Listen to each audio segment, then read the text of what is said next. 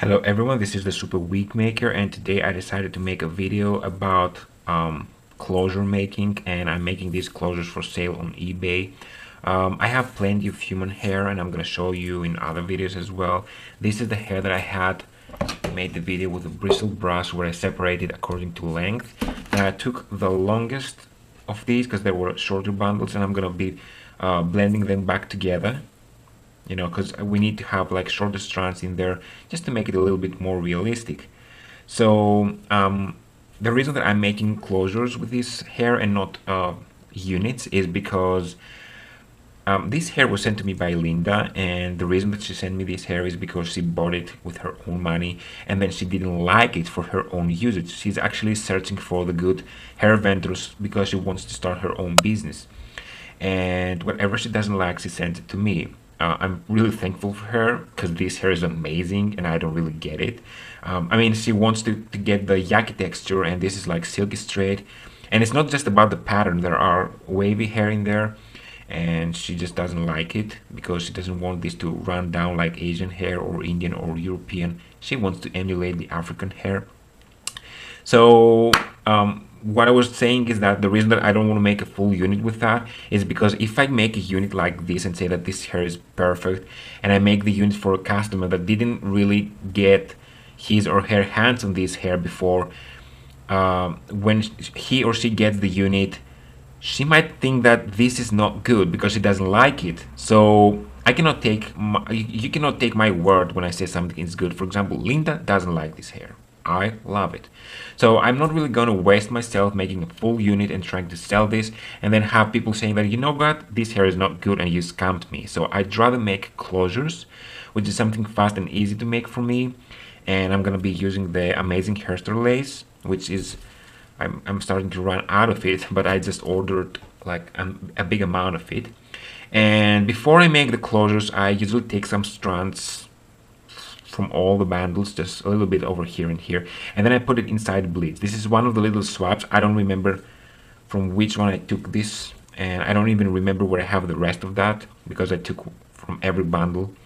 And it bleeds very nicely and I just let the bleeds in for like like 20 minutes or something. So this is this lifts very well for really dark Indian hair. I don't know if it's Indian or Asian. It looks something in between. Anyway so this is full virgin hair, it's uh, cuticle correct, uh, it's very nice. The texture is silky, so I'm telling you that from now, because when you want to bid on my, it's going to be an auction, when you're going to bid on my items, you really want to know what it is. That's why I'm making the video. So this is not visible. Let me just put it. Hmm, it could be easy. Okay, um, I'm gonna make the the closures the, the typical closure uh, is actually 4 inches, which is 10 centimeters by 4. Okay, something like that. And I kind of feel that this is not 100% necessary because forget about the width. This. I don't think anyone's gonna... Um, you won't part it here, you will part it in the middle. So for me, making a closure, I don't know, maybe maybe it's not it's a good idea to make closures to be sure because this is the standard. But I was actually thinking about making invisible parts and of course it's gonna be laced invisible part. But what I'm gonna do is instead of making it 10 centimeters and make it very expensive, I think it's fair enough to make it like 6 centimeters. Instead of 4 inches, make it like 2, 2.5 inches that why. So what will happen is that this whole area here is going to be full high definition. I'm going to have a little bit of seams in the edges so you will be able to sew it down without ruining it because this is not too fragile but it you know it's lace it's not German lace it's like a French lace or something it's the amazing hairstyle lace and this way you will be able to afford a natural parting, a super wig maker full high definition parting without having to pay like 100 euros because like this amount here i don't know how much i would price this because i still don't know how much time it's gonna take me to make that. But i'm pretty sure that it's gonna be very cheap and the quality like you don't need too much. Like all this area here parted in the middle it's gonna be super natural so this is gonna be uh, like an invisible part. This is how they call it. Of course they usually don't make it like that. So as you see, I have placed the lace on the mannequin head because I'm going to be using this to ventilate. And I have left intentionally the front uh, without um, a, a, fold. And of course I'm not going to ventilate here. I'm going to be ventilating until here. And I'm going to leave a little bit of excess here. Um, all the way to the back it has like about a little less than one centimeter seam but the whole thing is like 6.2 uh, centimeters long so I think it's pretty okay. And the four inch mark falls right over here. Here. So I'm gonna have some excess just for you to cut if you want to or do whatever you want. The, the lace doesn't fray on this direction. You're good to go. You can cut it as much as you want. So I'm gonna uh, stitch the seams right now with some permanent um, thread and then I'm gonna ventilate Okay, it's finished. I'm gonna show you the process of making it, the time lapse in the end of the video, as I always do. And I'm pretty pleased. Look at how beautiful that looks. I was actually planning to bleach the knots. Once again, I don't feel the need to do that. The hair is quite long if I measure it from the center to the ends, which are not like too thick, of course, because as I said, I use multiple hair I mean, up to the very tip is gonna be like 16 to 17 inches, but up to here, which is the like more thick, it could be like 15 inches. It's quite long. As I, I mean, I don't know if you can see that. It's long enough. Now, as far as I can see, it has the ability to conceal everything. I mean, if you had tracks, it would be able to conceal them.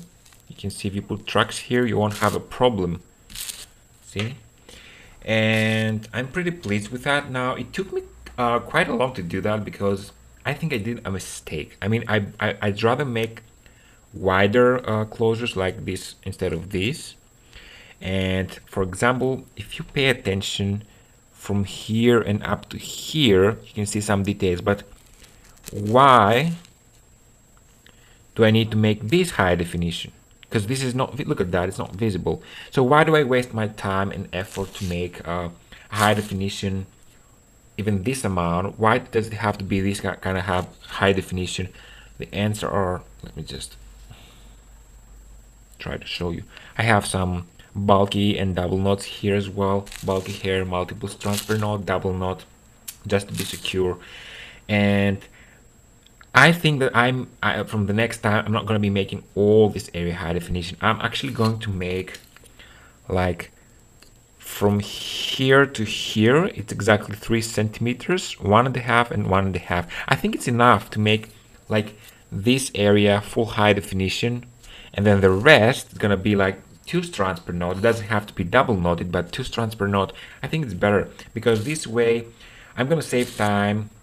I will be able to uh, prices less for my job and just pay for the for the hair only. So this took me quite a long because I was also still in the learning process, and I'm not. Go- I'm, I'm actually going to underprice this, which means that I'm not going to get paid for the full amount of time that it took me to make because, as I said, I'm still practicing to see what worth making and what doesn't worth.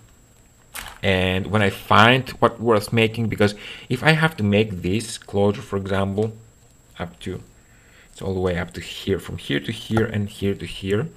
And it, it took me about seven hours about seven to seven and a half hours to ventilate that. And how much do you price that? I mean i, I cannot put a closure for like a hundred euros. As i said this is the reason that i made it slightly smaller. So i will underprice this. I'm gonna put it like i don't know maybe 50 euros and then I will add like about 5 euros for the shipping. And the hair that I use is not too much so I think another 5 euros for the hair. So totally the whole thing is going to be starting at 60 euros which is not a very big price for the closure because I've seen hideous closures for like 60 or 70 euros or 80 euros and I think that this is so much better.